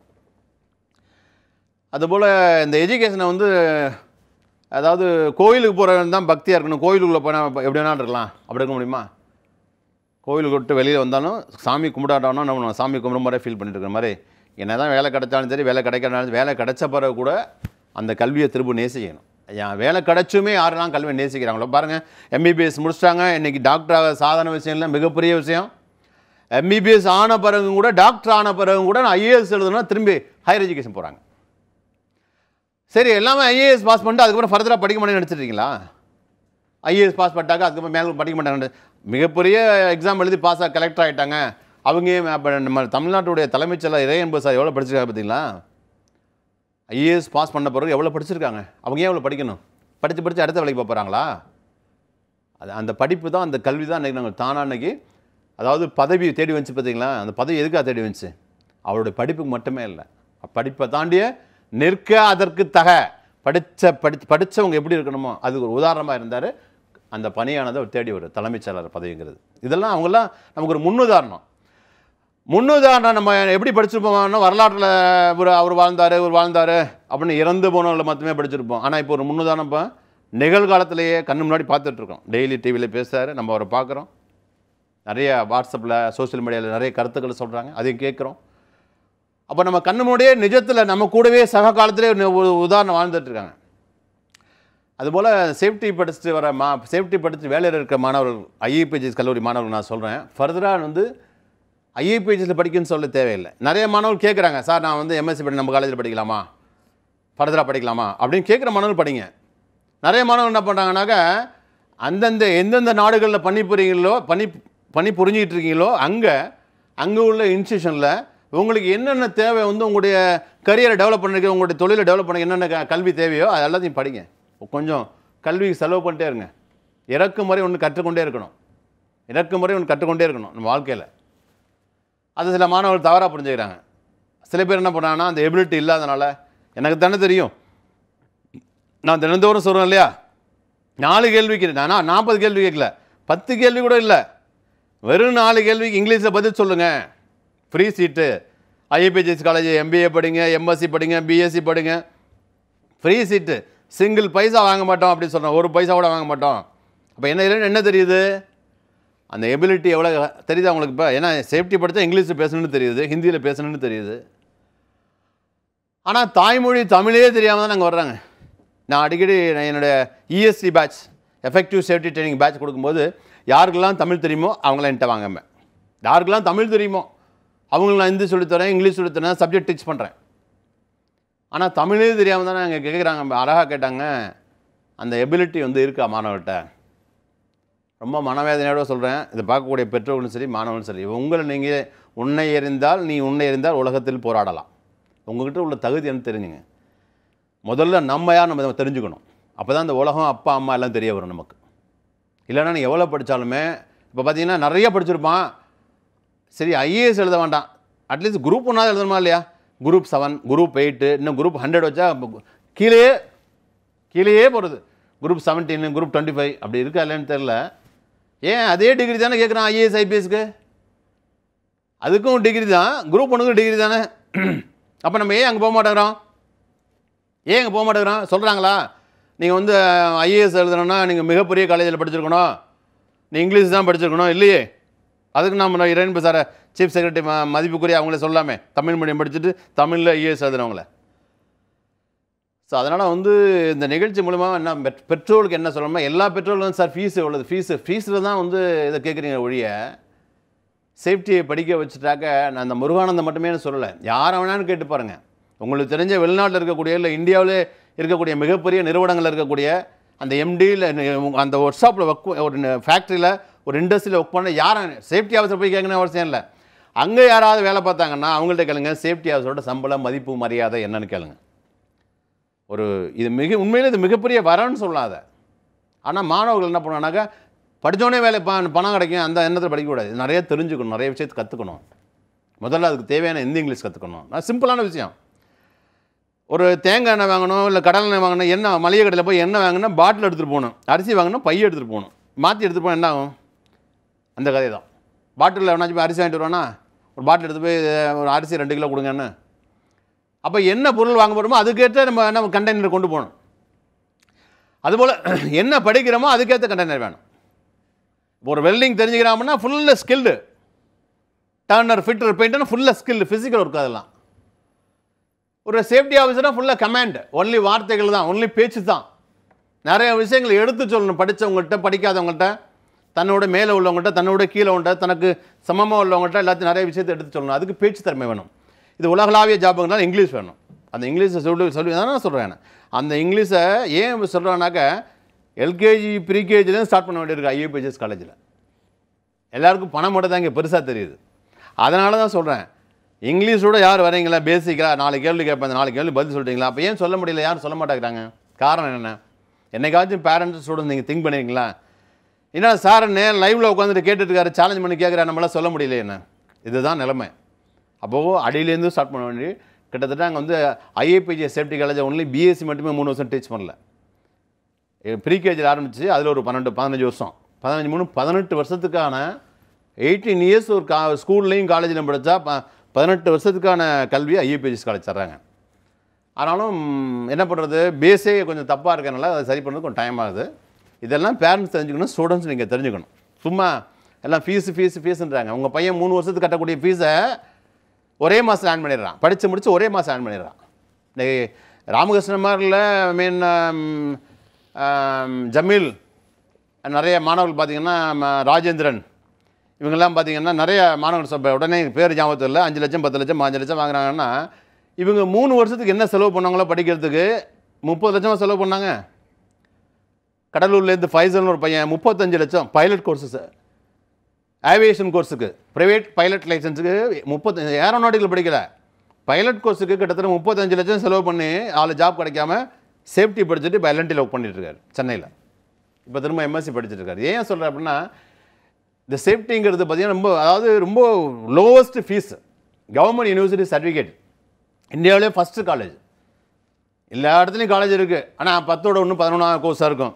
பட் இந்த கோர்ஸ் இந்தியாவோட இந்தியாவில் அறிமுகப்படுத்தி இதுக்கான ஒரு இன்ஃப்ராஸ்ட்ரக்சர் கிரியேட் பண்ணி அதை பார்த்தோன்னே தெரியும் அந்த பக்கம் கிராஸ் பண்ணுவீங்க திருச்சி ஏர்போர்ட்லேருந்து புதுக்கோட்டை ராமேஸ்வரம் மறந்தாங்க காரைக்குடி இப்போ தேவக்கோட்டையெல்லாம் போனீங்கன்னா தெரியும். ஸோ அந்த காலேஜ் இப்போ வந்து சென்னை விருகம்பாக்கத்து மட்டும் அரும்பாக்கத்தில் இருக்குது ஸோ என்னென்னா மாணவர்களுடைய கேப்பபிள்னா வந்த பிறகு ஒன்றும் பிரச்சனை இல்லை. இதெல்லாம் பெற்றோர் தெரிஞ்சுக்க மாணவர் தெரிஞ்சுக்க இப்போ நீங்கள் எப்படினா வரலாம். ஆனால் வந்த பிறகாவது அதை கரெக்டாக நீங்கள் தெரிஞ்சுக்கணும். மற்றபடி இது வந்து மாணவர்களுடைய தப்புன்னு நான் சொல்ல மாட்டேன். இதில் நிறைய எங்களை மாதிரி ஆசிரியரோட தப்பும் இருக்குது அதான் மேடம். கண்டிப்பா சார். ஒரு காலர் இருக்காங்க அவங்கள்ட்ட நம்ம பேசி தொடர்ந்து பேசலாம். வணக்கம் இது கல்வி வழிகாட்டி. யார் எங்கேருந்து பேசுறீங்க? சார் வணக்கம் சார். வணக்கம். சார். உங்க பேர் எங்கேருந்து பேசுறீங்க சார்? என் பேர் Kamaraj sir. Ex service man. ம். வணக்கம் சார். எங்கேருந்து பேசுகிறீங்க நான் திரு மத்திய கடலூர் டிஸ்ட்ரிக்ட்ல சார். எந்த கோரில் இருந்தீங்க? Sir artillery sir. ஆட்லரி. நானும் உங்கள் ஆட்டில் தான் ஒர்க் பண்ணேன். Nine seven six AD work shop Ambala cantt ah ah அப்புறம் six nine wheel regiment Jammu. நான் அங்கே தான் சொல்லுங்கள் அதான் சார் இப்போ நான் கொஞ்சம் அங்கே வந்து எல்லாம் காசெல்லாம் லாஸ் பண்ணிட்டேன். பொண்ணுங்க ரெண்டு பொண்ணு இருக்கு. சரி. ஒரு பையன். அதான் சார் இப்போ அந்த பொண்ணு ரெண்டு ஒன்று முடிச்சிடுச்சு ஆ. பயோ மெடிக்கல் இன்ஜினியரிங் முடிச்சிடுச்சு ஒன்று சரி. இன்னொன்று மெக்கட்ரானிக்ஸ் இன்ஜினியரிங் படிச்சிட்டு இருக்கு முடிச்சிடுச்சு சார். சரி. அதான் சும்மா வீட்டில் தான் உட்காந்துருக்கு ஒன்றும் வரணும் கிடைக்கல. வேற ஏதாவது படிக்க வைக்கலாமா பண்ணுறேன் சார். நல்லா நல்லா படிக்க வைக்கலாம். ஒன்றும் பிரச்சனை கிடையாது. நீ ஒரு எக்ஸர்டிஸ்மெண்ட் இல்லையா? ஆமாம் சார். ஹிந்தி நல்லா பேசுவீங்கல்ல? எல்லாம் காசுலாம் அழிச்சிட்டேன். ஒன்றும் சும்மா? தண்ணி அடிச்சு அதான் வீணாயிட்டேன் சார் அதான். கவலைப்படாதீங்க விடுங்க. அதாவது எல்லா எது போனாலும் எக்ஸர்டிஸ்மெண்ட் ஒரு பெருமை இருக்கா இல்லையா? ஆமாம் சார். பணத்தை சம்பாதிக்காம நாட்டுக்காக உழைச்ச சேவ் பண்ண ஒரு ஒரு கௌரவம் இருக்கா இல்லையா? ஆமாம் சார். அது ரத்தத்தில் ஊறி இருக்குமா இல்லையா? ஆமாம் சார். அது மட்டும் தான் இருக்கு. பாக்கி எல்லாம் வேலை பார்த்துட்டு இருக்கேன். ஒன்றும் பிரச்சனை இல்லை. அந்த நிகழ்ச்சி முடிஞ்சு நிறைய அதாவது நான் மிலிட்டரியில் சேரும்போது என்னுடைய ஆஃபீஸர்ஸ் வந்து எங்கிட்ட படிச்சு ஃபாரின் போயிட்டாங்க. சரிங்க. புரியுங்களா? சரிங்க சார். ரொம்ப சந்தோஷம். அந்த நிகழ்ச்சி முடிஞ்ச பிறகு கல்லூரியோட காலேஜோட நான் ஃபோன் நம்பர் இருக்கும். சரிங்க சார். அதில் கான்டாக்ட் பண்ணி இந்த முருகானந்த் சார்ட்ட ஜேடி சார்ட்ட நான் பேசணும் அப்படின்னு கேளுங்க. என் நம்பர் கொடுப்பாங்க. சரிங்க நான் சார் உங்கள்கிட்ட ஃப்ரீயாக பேசுகிறேன் சரிங்களா? சரிங்க சார் சரிங்க நன்றி, சார். நன்றி, நன்றி. பண்ணிச்சிங்க சார். தேங்க்யூ சார் கண்டிப்பா. இப்போ உலகம் எங்க எல்லாமே வந்து பார்த்தீங்கன்னா ஐஏபிஹெச்எஸ் மாணவர்கள் வந்து வேலை பார்த்துட்டு சேஃப்டி மேனேஜராகவோ சேஃப்டி ஆஃபீஸராகவோ ஒர்க் பண்ணிட்டு இருக்காங்க. கை நிறைய சம்பளம் வாங்கிட்டு இருக்காங்க. அதுல எந்த ஒரு சந்தேகமே. நமக்கு வேணாம். அப்படி இருக்கிறப்போ அவங்களுக்கு கவர்மெண்ட் சைட்ல இருந்து ஏதாவது உதவி இருக்குமா? அதாவது செய்யணும் அப்படின்னு இருக்கா? அது வந்து கரெக்டான நேரத்துல இருந்து சேருதா? உண்மைதான். இப்போ நிறைய ஐஏபிஎஸ் இது ஒரு அரசாங்கம் கவனிக்க வேண்டிய கேள்வி என்னென்னா இந்த கல்வியை பற்றிய போதிய சேஃப்டி எஜுகேஷன் அப்படிங்கிற இந்த கல்வியை பற்றிய போதிய விழிப்புணர்வு கவர்மெண்ட்டையும் இல்லை மக்கள்கிட்டையும் இல்லை மாணவர்கிட்டையும் இல்லை. இந்த நிகழ்ச்சி மூலயமா மாணவர்கள்ட்ட எடுத்து சொல்லலாம் மக்கள்கிட்ட எடுத்து சொல்லலாம். ஆனால் அரசாங்கத்திட்ட வந்து நேராக தான் பார்த்து எடுத்து சொல்லணும். ஸ்டேட் கவர்மெண்ட்டாக இருக்கட்டும் இல்லை சென்ட்ரல் கவர்மெண்ட்டாக இருக்கட்டும். ஆயிரத்தி தொள்ளாயிரத்தி நாற்பத்தில் சுதந்திரம் வாங்கினாங்கன்னா அதுக்கப்புறம் என்னென்னமோ எஜுகேஷன் கொண்டாட்டாங்க ஒரு சொன்னதையே திருப்பி திருப்பி சொல்கிறாங்க mechanical civil electrical chemical mechatronics aeronautical marine இப்படி திரும்ப திரும்ப அதே சொல்ல பிஎஸ்சி பிகாம் தமிழ் ஹிஸ்ட்ரி அப்படின்னு சொல்கிறாங்க மேத்தமெட்டிக்ஸு பாட்டனி ஜுவாலஜி இதே சொல்லிட்டு இருக்காங்க. அப்படியே சேஃப்டி மேன் இன்றைக்கி பார்த்தீங்கன்னா சேஃப்டி ஃபஸ்ட்டு டியூட்டி நெக்ஸ்ட் நீ முதல்ல வேலை பார்ப்பியோ பார்க்க மாட்டியோ அதெல்லாம் அப்புறம். ஆனால் பாதுகாப்பாக இரு. அதுதானே இப்போ பேண்டமிக்கு ஐயா நீ யார் வேணாலும் நீ கலெக்டராரு கவர்னராரு இல்லை ஸ்டூடெண்டாரு டீச்சராரு போலீஸாரு டாக்டர் யாரானா இரு. நீ வேலையே பார்க்கணும். முதல்ல வீட்டுக்குள்ளே முதல்ல உன்னை காப்பாற்றணும் நீ பாதுகாப்பாக இரு. Safety first. சார் நான் காலேஜ் போகணும் சார். டியூட்டி காலேஜ் போதும் டியூட்டி நான் அப்புறம் போய்க்கலாம் விடு. காலேஜ் இன்னும் திறக்கவே இல்லையே. ஏன் ஸ்கூலில் திறக்கல ஏன் காலேஜ் திறக்கல? இந்த கல்வியை விட முக்கியமானது வந்து உங்களுடைய பாதுகாப்பு தான். அப்பேற்பட்ட பாதுகாப்பை பற்றி இந்த கல்வியை வந்து ஐஏபிஜிஎஸ் காலேஜ் வந்து இதுக்கு முன்னாடி லண்டனில் படிக்க வேண்டிய சூழ்நிலை இருந்துச்சு. அதை நான் ஓப்பன் பண்ணி இந்த கல்லூரி நடத்துறதுக்குள்ளே அவ்வளோ பிரச்சனை. சாதாரணாலாம் பிரச்சனை பண்ணல. சிவாஜி படத்தில் ரஜினி சார் நடித்த சிவாஜி படத்தில் வர மாதிரி மிகப்பெரிய அரசு அதில் மந்திரியெல்லாம் அந்த பிரச்சனை கொடுத்து அந்த கல்லூரி நடத்த விடாமல் எவ்வளோ பண்ணி? நாட்டில் வந்து அக்குரம் பண்ணவன் நல்லா இருக்கான். நீ பார்த்துருப்பீங்கல்ல இளநீ விற்கிறவன் ரொம்ப கஷ்டப்படும் இளநீ விற்கிறவனாச்சும் நீட்டாக ட்ரெஸ் பண்ணிக்கிறான் ஊரில். மோர் விற்கிற பாட்டியை பார்த்துட்டிங்களா கீரை விற்கிற பாட்டி இப்போ கீரைலாம் கெடுதல் கீரைலாம் உடம்பு கெடுதல் தரக்கூடியதா? ஒரு கீரை விற்கிறவங்க ஒரு இளநீ விற்கிறவங்க நிலக்கடை கடலை விற்றுட்டு போவாங்க. எதெல்லாம் உடம்புக்கு மனுஷனுக்கு நல்லது தருதோ அவங்களாம் ரொம்ப கஷ்டப்படுவாங்க. பார்க்கவே பரிதாபமாக இருப்பாங்க. அந்த கதை தான் என் கதையுமே எங்கே? ஒரு பாதுகாப்புங்கிற கல்வியை பொதுவாகவே ஒரு பிள்ளைகளுக்கு வந்து கல்வி தான் பாதுகாப்புன்னு தான் பெற்றோர் படிக்க வைக்கிறாங்க. எஜுகேஷன் தான் சேஃப்டி ஆனால் இது சேஃப்டி எஜுகேஷன் கரும்பு தின்ன கூலியாங்கிற மாதிரி அதுவே. இதை படிச்சுட்டு ஐஏபிஜிஎஸ் கல்லூரி மாணவர்கள் பல்வேறு நாடுகளில் பல்வேறு நிறுவனங்களில் உயர்ந்த பதவியில் இருக்காங்க நல்லா சம்பாதிக்கிறாங்க. ஆனாலும் பார்த்தீங்கன்னா இப்போ இந்தியாவில் பார்த்தீங்கன்னா ஃபாரினில் போய் கவர்மெண்ட் ஜாப் போயிடுறாங்க. ஆனால் இந்தியாவில் உள்ள கவர்மெண்ட் ஜாப் இந்த மேனேஜர் கேட்டர் போகும்போது இதை மினிஸ்ட்ரி ஆஃப் லேபரில் என்ட்ரி பண்ணுறீங்களா என்ட்ரி ஏன் பண்ணல? இது வந்து ஆக்சுவலி கவர்மெண்ட் இது கவர்மெண்ட் யூனிவர்சிட்டி சர்டிஃபிகேட் தருது. ஐஏபிஜிஎஸ் காலேஜில் படிக்கக்கூடிய மாணவர்கள் government university certificate even identity கார்டுலேருந்து சர்டிஃபிகேட்லேருந்து கவர்மெண்ட் யூனிவர்சிட்டி கொடுக்குது. அந்த கவர்மெண்ட் யூனிவர்சிட்டி சர்டிஃபிகேட்டை இன்னொரு கவர்மெண்ட் கேட்குது அந்த யூஜிசி எல்லாமே யூஜிசிக்கில் தான் வருது. ஒரு ஐஏஎஸ் படிக்கணும்னா கூட ஜஸ்ட் ஒரு பிஏ படிச்சதா போதும். ஒரு பிஎஸ்சி படிச்சா அதை ஏற்றுக்கிறாங்க ஒரு கலெக்டருக்கு ஒரு கலெக்டருக்கு பிஏ போகணும் ஏற்றுக்கிறாங்க ஆனால் சேஃப்டி படித்து மேனேஜர் ஆகணும் அப்படின்னா இந்தியாவில் இந்தியன் ஃபாரினில் ஒன்றும் பிரச்சனை கிடையாது. இந்தியாவில் மேனேஜர் ஆகணும்னா இது மினிஸ்ட்ரி ஆஃப் லேபரில் என்ட்ரி பண்ணிங்களா? அதை நீங்கள் ரெஜிஸ்டர் பண்ணீங்களா? அதை நீங்கள் இன்ஜினியரிங் பேக்ரவுண்டு தான் கொடுப்போம். அப்போ நீங்கள் வந்து இன்ஜினியரிங் பேக்ரவுண்ட் வந்து ஐஏஎஸ் ஐஏஎஸ் ஆக முடியுமா? ஒரு மெடிசன் பேக் மெடிக்கல் பேக்ரவுண்டு தான் எம்பிபிஎஸ் படித்தா தான் ஐஏஎஸ் ஆக முடியுமா? ஒரு சாதாரண பிஏ வரலாறு படித்தா கூட ஐஏஎஸ் ஆகலாம். ஆனால் இங்கே சேஃப்டி ஒரு மாவட்டத்தை நிர்வாகம் பண்ணக்கூடிய கலெக்டருக்கு சாதாரண என்ன டிகிரி படிச்சுக்கலாமா ஒரு இண்டஸ்ட்ரியை நிர்வாகம் பண்ணக்கூடிய ஒரு சேஃப்டி படித்த மாணவர்கள் ஏன்னா பல்வேறு மாணவர்கள் இந்த கோரிக்கை எங்கள்கிட்ட வைக்கிறாங்க. ஒரு கம்பெனியில் போய் சேஃப்டி மேனேஜர் ஆகும்போது என்ன பண்ணுறாங்கனாக்கா நீங்கள் வந்து ஆர்எல்ஐயில் ரெஜிஸ்டர் பண்ணீங்களா அதை? மினிஸ்ட்ரி ஆஃப் லேபரில் லேபர் அண்ட் எம்ப்ளாய்மெண்ட்டில் இதை ரெஜிஸ்டர் பண்ணீங்களா? அது எப்படி கல்லூரி நிர்வாகம் பண்ண முடியும்? ஏன்னா இங்கே படிக்கக்கூடிய மாணவர்கள் எல்லாமே யூனிவர்சிட்டியுடைய மாணவர்கள். இது கவர்மெண்ட் அது ப்ரைவேட் யூனிவர்சிட்டி டீம்டு யூனிவர்சிட்டி கிடையாது. அது கவர்மெண்ட் யூனிவர்சிட்டி அப்போ ஒரு கவர்மெண்ட் யூனிவர்சிட்டியே வந்து என்ன காரணம்? இதுலேயே ஒரு விழிப்புணர்வு இல்லை. இதுலேயே ஒரு விழிப்புணர்வு இல்லை. அதனால் வந்து இது மாதிரி அரசாங்கம் இது அரசாங்கத்தை கோரிக்கை கவர்மெண்ட் கோரிக்கை வச்சுருக்கோம். மேனேஜர் கேட்டர் போகும்போது அதை வந்து இன்ஜினியரிங் படித்தவங்க மட்டும் தான் வைக்காமல் பிஎஸ்சியும் ஒரு படிப்பு தானே? எம்பிஏவும் படிப்பு தானே? எம்எஸ்சியும் படிப்பு தானே? அப்போ இதை பற்றி விழிப்புணர்வு இல்லை. ஆனால் இதெல்லாம் கரெக்டாக என்ன பண்ணுறாங்கனாக்கா இந்த பழைய இதே பிடிச்சிக்கிட்டு ஃபாலோ அப் தான். பழைய இதே பிடிச்சிட்டு நிற்கிறாங்க அப்போ இல்லை இந்த கல்வி. ஆனால் இப்போ இருக்குது எல்லா கல்வி நிலையங்களும் வந்துருச்சு இப்போ. நான் கூட கோரிக்கை வச்சேன். பள்ளி கல்வியிலேருந்து ஆரம்பிக்கிறோம்னு சொல்லி வச்சேன். அந்த வகையில் வந்து எங்களுடைய ஐஏபிஜி காலேஜில் படித்த மாணவர்களுக்கு இந்த மாதிரி இதெல்லாம் வந்து இந்த மத்திய அரசாங்கம் மாநில அரசாங்கம் இந்த சேஃப்டி எஜுகேஷன் பற்றி ஒரு விழிப்புணர்வு கொண்டு வந்து இது முறைப்படுத்தணும். அதுதான் எங்களுக்கு பெரிய கோரிக்கை. கண்டிப்பா சார். இப்போ வேலையில ஒருத்தவங்க இருக்கிறாங்கன்னா அவங்க படிக்கணும்னு நிறைய பேர் ஆசைப்படுவாங்க இல்லையா? அப்போ வேலையில இருக்கிறவங்க படிக்கணும் அப்படின்னா நேரா வந்து தான் ஆகணுமா? இல்ல வேற ஏதாவது வழி இருக்கா? வேலையில் இருக்கவங்க வந்து யாரெல்லாம் ஜாப் ஒர்க் பண்ணிட்டு இருக்காங்களோ அவங்க வந்து கரஸில் இந்த கோர்ஸ் கிடையாது. சேஃப்டிங்கிறது நான் எடுக்கணும்னு சொல்லியிருக்கேன். Safety is not a studies அது ஒரு சென்ஸ் அப்படின்ட்டு ரொம்ப சென்சிட்டிவான படிப்பு. முன்னாடியெல்லாம் எம்ஃபில் வந்து படிக்கலாம் அப்படின்னா கரஸில் படிக்கலாம். கவர்மெண்ட்டில் என்ன எம்ஃபில் எடுத்துட்டாங்க. ரெகுலரில் தான் படிக்கணும். சேஃப்டியை வந்து ஒரு கம்பெனியில் ஒரு கன்சர்னில் ஒர்க் பண்ணிட்டு இருக்கும்போது அவங்களுக்கு சேஃப்டி பற்றி தெரியும். என்ன சேஃப்டி அவசியம் என்னென்ன பண்ணுவார்? சில பேர் சேஃப்டியில் ஒர்க் பண்ணிட்டு இருப்பாங்க. ஏன்னா அப்போ சேஃப்டி எஜுகேஷன் கிடையாது. ஒரு காலத்தில் ஃபைவ் ஸ்டார் ஹோட்டலில் ஒர்க் பண்ணவங்க யாருன்னா கேட்ரிங் படிக்காதவங்க ஒர்க் பண்ணாங்க. ஏன்னா கேட்ரிங்கிற எஜுகேஷன் லேட்டாக தான் வந்துச்சு. இந்தியாவில் இருக்க எல்லா five star ஹோட்டல்லையும் three star four star four star deluxe heritage heritage hotels இது மாதிரி ஒரு இடங்கள்லாம் வந்து கேட்டரிங் படித்தவங்க இப்போவுமே கிடையாது. என்ன கடிச்சு எல்லாம் படிச்சுட்டு ஃபாரின் போயிடுறாங்க. படிக்காதவங்க அனுபவசாலி தான் ஒர்க் பண்ணுறாங்க ஸோ அது மாதிரி ஒர்க் பண்ணுறவங்களுக்கு இந்த கவர்மெண்ட் என்ன பண்ணுச்சு அப்படின்னா ஸ்கில் டெஸ்ட் ஒன்று டெஸ்ட் வைப்பாங்க. ஏன்னா ஒரு நாள் வந்து அவங்க ஒரு மெனுவை கொடுக்கணும். அந்த மெனுவை வந்து மெ- கண் முன்னாடி சமைச்சு காமிக்கணும். அதை சமைச்சு டேஸ்ட் பண்ண பிறகு ஓகே அப்படின்னா கேட்டரிங் படிச்சுக்க மாதிரி சர்டிஃபிகேட் கொடுப்பாங்க. அதை வச்சு ஹோட்டலில் திரும்பி ரீஜாயின் பண்ணிக்கலாம். அதுபோல் இண்டஸ்ட்ரியில் ஒர்க் பண்ணக்கூடியவங்க சேஃப்டியை பற்றி ஒவ்வொரு தெரியும். இல்லை சில பேர் சேஃப்டிலே ஒர்க் பண்ணுவாங்க. சேஃப்டியில் ஒர்க் பண்ணும்போது அவங்களுக்கு வந்து அவங்கள்ட்ட சர்டிஃபிகேட் மட்டும் தான் இருக்காது. ஸோ அது மாதிரி உள்ளவங்க என்ன பண்ணுவாங்கனாக்கா அவங்க டெசிக்னேஷன் கார்டை ஐடி கார்டை ப்ரொடியூஸ் பண்ணிவிட்டு அங்கே இருந்துட்டு என்ன பண்ணலாம்? ஃபர்தராக இங்கேருந்து மெட்டீரியல்ஸ் வந்து அனுப்பிச்சிட்டே இருப்பாங்க. இப்போ ஸ்கூலில் காலேஜில் படிக்கிறவங்க மேக்ஸிமம் ஆன்லைனில் தான் படிச்சுட்டு இருக்காங்க. ஸோ அதனால் ஆன்லைனில் எல்லாம் அனுப்புவாங்க. பட் ஒரு வருஷத்தில் ஒரு பதினஞ்சு நாள் எந்த கோர்ஸ் முடித்தாலும் ஒரு பதினஞ்சு நாள் கண்டிப்பாக காலேஜுக்கு நேராக வரணும். இதுதான். மற்றபடி வேலை பார்த்துட்டு ஈஸியாக படிக்கலாம். ஆ, கண்டிப்பா சார் நீங்க எப்பவுமே என்ன சொல்லுங்கன்னா இங்கிலீஷ் படிச்சு இங்கிலீஷ் தெரிஞ்சிருந்ததுன்னா கேட்குற நாலு கொஸ்டினுக்கு நீங்க ஆன்சர் பண்ணிட்டீங்கன்னா நாலோட குறைச்சிட்டேன் ரெண்டு கேள்வி ரெண்டு கேள்வி பதில் சொன்னால் போதும். ரெண்டாயிருச்சு இப்போ. ஓகே ரெண்டு கேள்விக்கு பதில் நாளாகி free நாலு. ரெண்டாச்சு ரெண்டு ஃப்ரீ ஷீட் அப்படின்னு சொல்லியிருக்கீங்க. அது எதனால அப்படி கொண்டு வந்தீங்க? இங்கிலீஷ் தெரிஞ்சா ஃப்ரீ ஷீட் அப்படிங்கிறது எந்த காரணத்திற்காக அதை கொண்டு வந்தீங்க? யாராவது இது வரைக்கும் அது இப்படி சேர்ந்துருக்காங்களா? ஜாயின் பண்ணியிருக்காங்களா? இல்லை இது வரைக்கும் யாரும் ஜாயின் பண்ணல. நானும் தினந்தோறும் கேட்டுட்ருக்கேன். பகிரங்கமாக சொல்கிறேன் சில ஆசிரியர்கள்ட்ட பேசினாங்க. இதை பற்றி சொன்னாங்க. ரொம்ப வருத்தம் தர வேண்டிய விஷயம். அதாவது ஒரு ஒரு வேலையை செய்கிறோம் அப்படின்னாக்க நம்ம சினிமாவுக்கு போனால் படம் பார்க்க போகிறோம் இடையில வந்து விளம்பரம் போடுறாங்க. ஆரம்பத்தில் விளம்பரம் போடுறாங்க. விளம்பரமே இந்த ரெண்டு மணி நேரம் போட்டு என்ன பண்ணுவோம்? அஞ்சு நிமிஷம் கரண்ட் கட்டாக எடுத்து விசில் அடிக்கிறோம். எனக்கு படம் போடு படம் போடணும் விசில் அடிக்கிறோம். பெரிய ரகலை தான் ஏன்னா அந்த படத்தை முழுசாக பார்க்கணும். படம் முடிஞ்சு டைட்டில் போட்டாங்க வணக்கம் போட்டு எந்திரிச்சு நான் அதை பார்த்துட்டு இருப்போம். அந்த கடைசி பேர் போகிறவரையும் பார்த்துட்டே இருப்போம். இப்படி சின்ன சின்ன விஷயங்களுக்கெல்லாம் நம்ம முழுமையாக முழுமையாக வேணும்னு ஆசைப்பட்றோம்.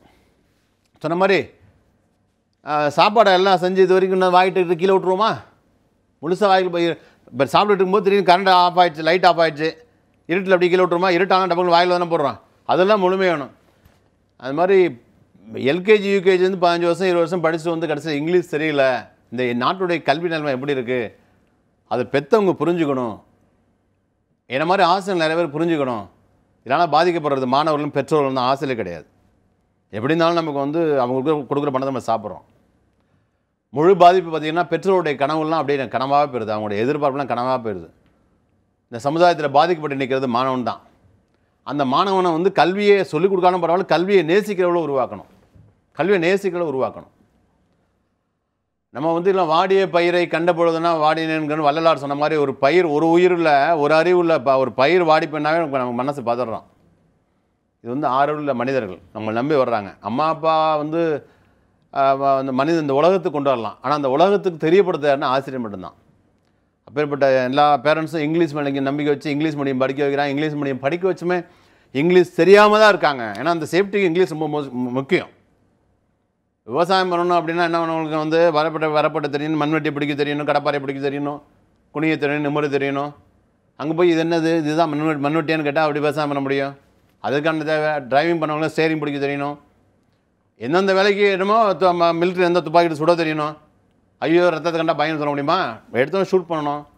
இங்கே அம்மா அப்பா எப்படி சொல்லி வளர்த்துருப்பாங்க. யார்ட்டையும் சண்டைக்கு போகக்கூடாது. புரியுதா? அப்படின்னு பள்ளிக்கூடத்தில் படிச்சிருக்காங்க யார்ட்டையும் சண்டைக்கு போடணும்னு படித்து வளர்ந்த நாங்கள் ராணுவத்தில் போய் நம்ம அடுத்த நாட்டில் சண்டை கொலையே பண்ணுவோம். போருங்கிற பேரில். அப்போ அதுக்கு தகுந்த மாதிரி நம்ம ஆயத்தப்படுத்திக்கணும். அது மாதிரி இங்கிலீஷ் மீடியம் படிக்கிற நீங்கள் என்ன பண்ணணுனாக்கா இங்கே இப்போ எங்கே போனாலும் இங்கிலீஷ் தான்.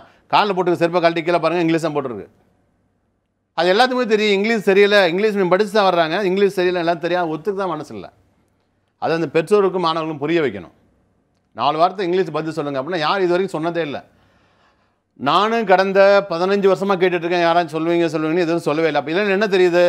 இங்கிலீஷ் மீடியம் பேரில் படித்து வரீங்க அவ்வளோதான் ஒரு படிச்சுட்டு வரீங்க அவ்வளோ சர்டிஃபிகேட் வச்சிருக்கீங்க இங்கிலீஷ் மீடியம் படிச்சேன்னு. அந்த தெரியாத இங்கிலீஷை தான் ஐபிஜிஎஸ் காலேஜில் சொல்லித்தராங்க பள்ளிக்கூடத்துலேருந்து எல்கேஜி தெரியாத இங்கிலீஷ் தான் ஐபிஜி காலேஜ் சொல்லித்தராங்க அதனால தான் இந்த கேட்குறேன். இது வரைக்கும் யாரும் சேரல. இதை மாணவர்கள் புரிஞ்சுக்கணும். எதை பற்றி தெரியலன்னு கவலைப்பட வேண்டாம். இதான் மேடம் நான் சொல்கிறது கண்டிப்பா.